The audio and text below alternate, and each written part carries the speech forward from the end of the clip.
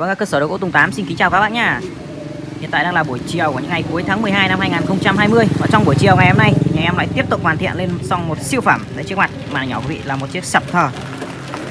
Chiếc sập thờ này của một khách hàng là anh Hưng ở tại à, à, Cẩm Khê, Cát Trù, Cẩm Khê, Phú Thọ. Hôm nay thì nhà em có hoàn thiện xong phần mộc của chiếc sập thờ này cho anh rồi thì em có quay lại một video clip để gửi lại anh cũng như là giới thiệu đến mọi người xem chiêm ngưỡng. Đấy, trước mặt quý vị là hình ảnh chiếc sập thờ đây. Chiếc sập thờ này mẫu thì cực kỳ là mới quý vị nhá. Mẫu cực kỳ là mới cũng như là được làm rất là à, chi tiết và sắc nét về phần đấu chạm thì à, trước khi để giới thiệu chi tiết thì như thường lệ em cũng à, quay và giới thiệu tổng thể cho các bác xem. Đây trước mặt quý vị là hình ảnh tổng thể chiếc sập thờ đây. Chiếc sập thờ này có kích thước à, cơ bản như sau. Là bề ngang là dài 2m17 cao là 117 và sâu là 1,7 các bác nhé rất là đẹp đây. Hình ảnh tổng thể của chiếc sập thờ này rất là đẹp thờ này sập thờ gọi là sập thờ à, nhị cấp. Là có một cấp mà trên mặt nữa. Đó, một cấp này thì là cao là một mét là 27 còn nguyên tầng dưới là một mét là 17 các bạn. Rất là đẹp. Trước khi đi vào chi tiết thì em cứ cứ đi vào hình ảnh tổng thể cho các bác xem và chiêm ngưỡng chiếc sập này nhé. Mẫu cực kỳ là mới và hiện tại thì con này rất là hiếm và độc. Cũng như là về cái chất liệu gỗ mít này thì các bác vào tại là chưa có chiếc sập nào với chất liệu gỗ mít và gỗ mẫu như này đâu. À, cực kỳ là đặc sắc. Và ngay sau đây thì em sẽ đi vào giới thiệu chi tiết hơn về chiếc sập này. Để uh, em xin bắt đầu từ phần uh, đầu đốc này quý vị nhé. Đó, mọi lần em giới thiệu phần chính diện trước thì đây.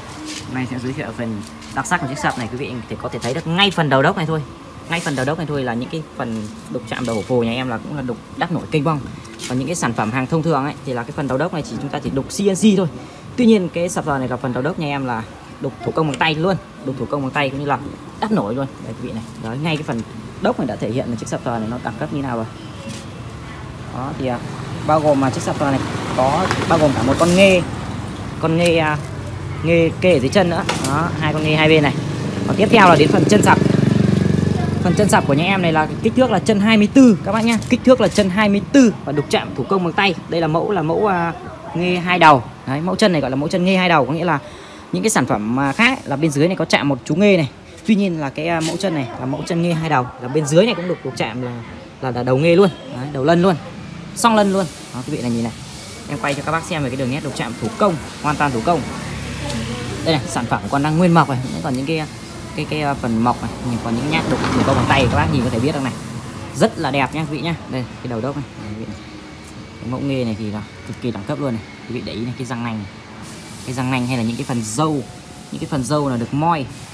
Moi kênh lên. Đây này. Moi kênh lên này. Đó moi kênh lên này. Cái đường cái đường mây. Cái đường mây hay là những cái phần uh, tai của cái cái cái, ờ, cái đầu lân này. Đó được chạm khắc này. Rất là tinh tế này. Vị có thể chiêm ngưỡng được cái phần chân sập này. Cái chân sập này như phần dưới này có con nghê bò này. rất là đẹp. Đây đưa nó ra xa để bác xem này. Đó. tiếp theo thì là em sẽ giới thiệu về cái phần dạ này.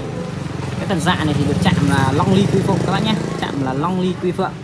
Có nghĩa là bên này là long là dòng này đây là ly này đây là phượng này đây là quy này. Đó. đây là bốn linh vật.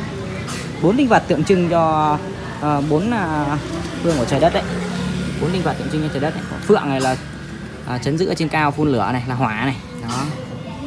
Đây quý vị hình hình hình tượng chú phượng này. Đục chạm kênh bong này. Hình tượng chú phượng đục chạm kênh bong này. Kênh bong này. Đấy, và những cái đường nét thì cực kỳ là sắc nét luôn.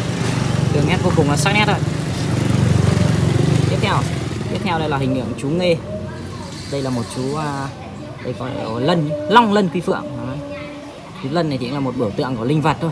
Đấy là hình ảnh uh, à, dân gian à, các cụ ngày xưa là hình ảnh tượng trưng. Uh, chú lân này thường là có hình ảnh ở những cái à, đình chùa miếu mạo canh dự. Ở hai bên cổng đình cổng chùa. Tiếp theo thì phần giữa này thì có à, đầu hổ phù. Đây mẫu đầu hổ phù cực kỳ là đẹp luôn. Dâu này quý vị này dâu này hay là kênh này? Kênh này kênh này đó. Cái điểm đặc sắc của cái à, cái dạ sập thờ này ấy, là cái à, dạ này nhà em là làm dày là 5 cm các bác nhé. Đây dạ rất là dày đây này em quay phần dưới cho các bác xem dạ rất là dày luôn. Đó và tính đến cái phần chắc cao nhất của cái đầu phô này thì nó sẽ kênh lên của nó là 15 phân. Riêng cái dạ này là dày 5 phân này. Riêng cái dạ này dày 5 phân luôn này. Đó. Về đường nét chi tiết này thì em cứ quay uh, quay gần quay chậm và lia cho các bác xem về cái đường nét chi tiết của cái cái đầu phô này. Đó. Trông rất là dữ tợn luôn này. Bên dưới này mồm há bạnh lên trông rất là dữ tợn luôn. Bên dưới này có biểu tượng mặt trời. Thái cực thái cực đây rất là đẹp nha. Các bác à, xem thì hãy để lại bình luận và đóng góp ý kiến à, về chiếc sạc thờ này. À, rồi có phần gì mà còn cần cải thiện thì các bác cứ à, cứ, cứ, cứ bình luận và đánh giá về mẫu mã nha thì nhà em sẽ cải thiện thêm.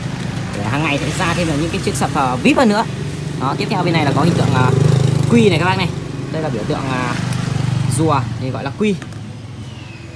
Đó tiếp theo kênh chân của chú rồng này chân của chú rồng này đạp lên con con uh, rùa này.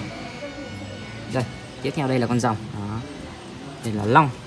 Thì uh, chú rồng này thì là nó cũng là một hình tượng uh, dân gian. Chú rồng là một hình tượng dân gian mà các cụ ngày xưa là tưởng tượng ra thôi. Đó, và nó nó mang đặc tính cũng như là cái biểu tượng uh, của rất nhiều các loài khác. Đấy, cụ thể như là cái thân con rồng này quý vị này. Thân con rồng này là thân của rắn này. Còn vảy rồng này là vảy cá chép thì là bao gồm có 81 vảy dương và 36 vảy âm. Còn đầu rồng ấy thì là là đầu là gà, à, sừng rồng này là sừng hiêu mắt thì là mắt của tôm hùm bụng là của con dao. Gang bàn chân gang bàn chân rồng thì là của hổ. Còn vuốt thì lại vuốt của chim ưng các bác nhá. Gang bàn chân thì của hổ nhưng vuốt lại của chim ưng cơ. Đó, về mũi mũi rồng hay là, là đuôi của rồng ấy, thì là gọi là đuôi của sư tử. Đó, thì là kết hợp kết hợp là chín chín cái cái cái đặc tính của chín loài vật khác tạo thành một con rồng đó, biểu tượng ở các cụ ngày xưa là là tượng trưng tưởng tượng ra hình tượng rồng tứ linh là như vậy. Nó và hình rồng thì mang một sức mạnh rất là lớn. Quyền uy rất là quyền uy các bác nhé. Đó đây. Các bác này đục chạm rất là đẹp. Đục chạm rất là đẹp.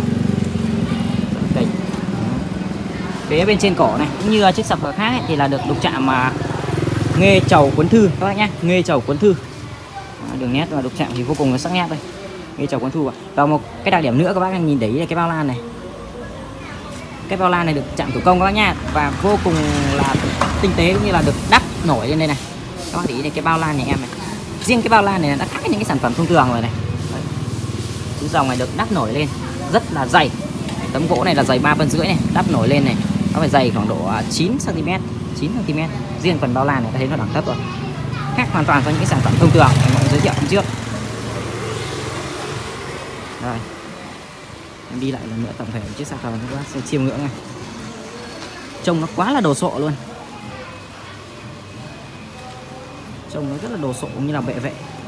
Và cái phần khuôn tranh sạp sò này thì dày là 4 cm như là ván mặt. Phần khung xương rất là dày nên là các bác hoàn toàn yên tâm khi sử dụng mà có thể để những cái đồ à, à ngũ sự bộ ngũ sợ thờ kê bằng đồng hoặc là bằng chất liệu khác. Hoàn toàn yên tâm bằng đồng hoặc bằng sứ nhé. Vô cùng là chắc chắn luôn. Đấy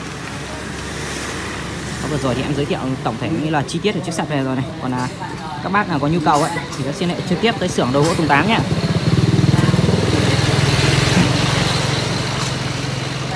cơ sở có địa chỉ tại à, xã Văn Phúc Cẩm Khê Phú Thọ này.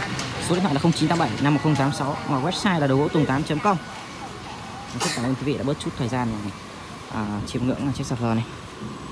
Các bác đừng à, quên là bấm like đăng ký kênh cũng để lại bình luận về sản phẩm nhé. Sẽ đóng góp ý kiến của các bác thì sẽ giúp em à, cải thiện à, tốt hơn về mẫu mã. Ok, xin chào mọi người.